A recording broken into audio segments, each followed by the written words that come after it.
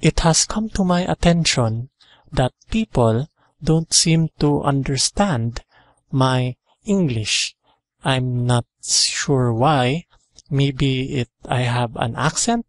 I yeah, I do have an accent because I'm not a native English speaker. So what I will do is put subtitles on my videos starting today. Actually, starting now.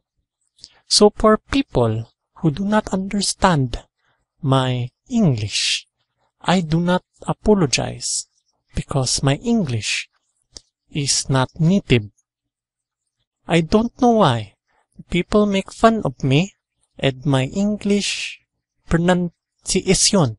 I think I speak okay, especially now there are subtitles on my videos for you to enjoy and share and like and subscribe to my channel. Thank you. Bow.